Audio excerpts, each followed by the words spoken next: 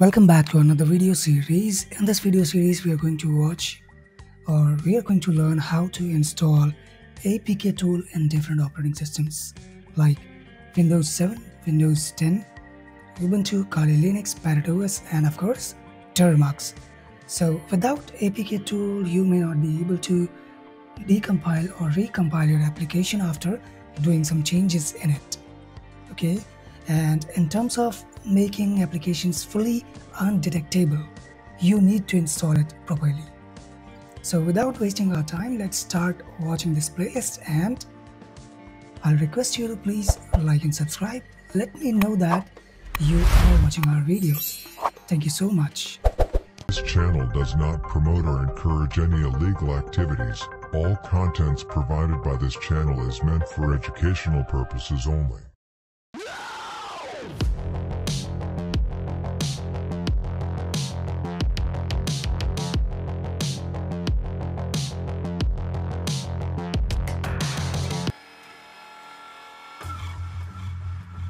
Welcome back and in this video we are going to install APK tool in Parrot OS and we will also learn how to decompile and compile this application using APK tool. Okay, so if you have watched my previous videos you may know that there are two ways to install APK tool or if you have some unique ways you can let me know in the comment box. Okay, so let's install APK tool first. Go to google.com and search for APK tool. Click on the first link. Scroll down and click on install docs. Now you have to click on wrapper script. Copy the link open your terminal, create a directory named as anything. So I'm going inside a directory tool. Now type curl and paste the link and save it as APK tool.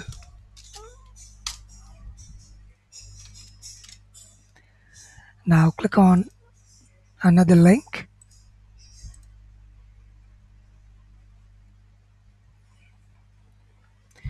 right click on APK tool 2.6.1 jar and copy the link. Type wget, paste the link. It will download the binary for you and it will take some time. Let me pause the video and get back to you. So we have downloaded both of the files. Now provide them execution permission.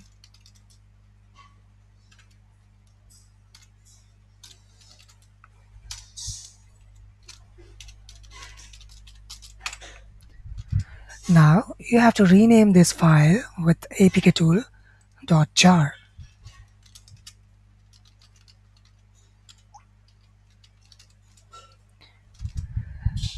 Now move or copy both of the file to the bin directory.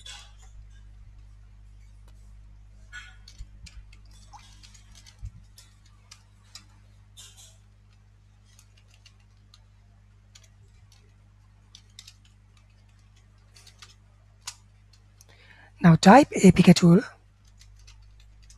and it has been installed.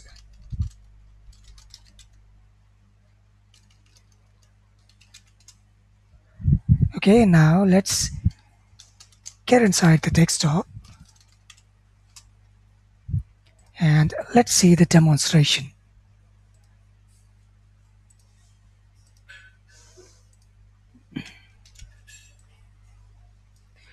So here is our application I want to decompile. This one.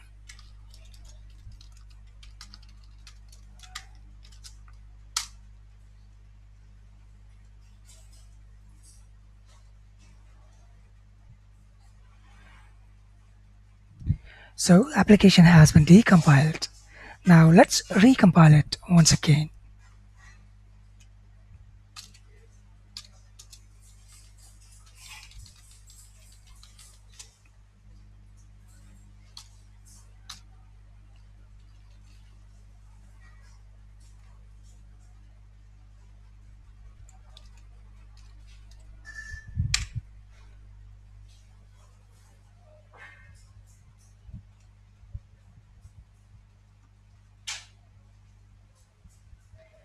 And directory has been recompiled and this is our final application. If you want to know how to sign this application in ParrotOS or any Linux operating system please watch the previous video in the series. Okay? So this was it for the day. Take care of yours. Have a great time ahead